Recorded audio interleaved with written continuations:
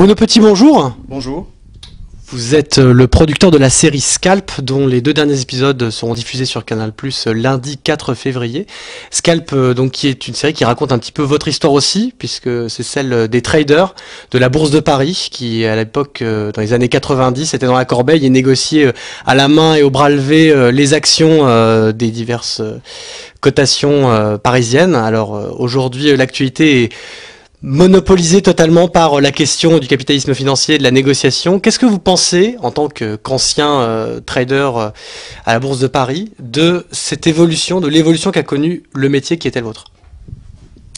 Donc effectivement, j'ai passé 12 ans euh, à la Bourse de Paris à la crier sur un marché où on négociait donc en compagnie, on était en équipe, 6, 8 ou même 20 si c'était de grosses, de grosses compagnies de négociation.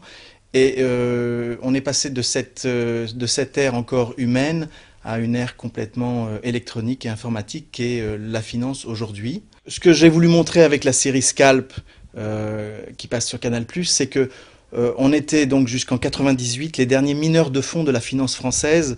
on mettait nos vestes comme on mettait, vous savez, les, lunettes de mineurs tous les matins. On descendait à la mine euh, et, on avait comme ça cet esprit de solidarité et d'équipe qui certainement n'existe plus aujourd'hui dans la finance moderne avec la mondialisation, il fallait que les capitaux aillent très très vite d'un endroit à un autre, donc là, euh, pas de problème.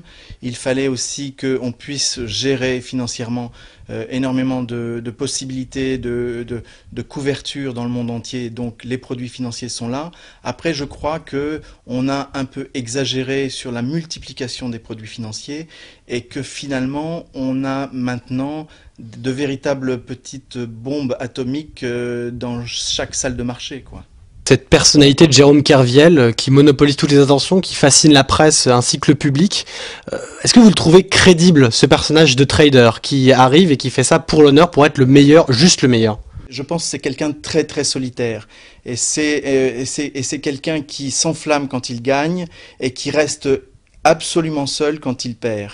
donc voilà, qui, peut dire comment vit un trader seul derrière son desk aujourd'hui? Personne. Alors je ne, je ne condamne pas Jérôme Kerviel, je condamnerai ce système qui fait que les traders ne sont pas accompagnés, que finalement les traders jouent avec des sommes de plus en plus importantes sans qu'il y ait finalement des effets de clipper qui, font que on, on garde un peu les sommes gagnées et on rejoue avec les mêmes sommes de départ. Moi j'ai connu encore à la criée les NIP, les indépendants qui jouaient leur argent et qui perdaient leur argent si euh, ça leur arrivait de perdre.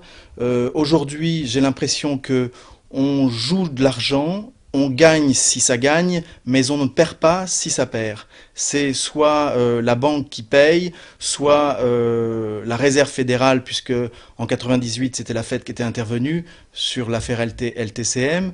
C'est donc la règle du jeu est différente et, malheureusement euh, on a euh, l'effet casino sans en subir les conséquences. La dangerosité de, ce métier de trader moderne, c'est que finalement, à 20 traders dans le monde entier, on peut planter la planète en une après-midi.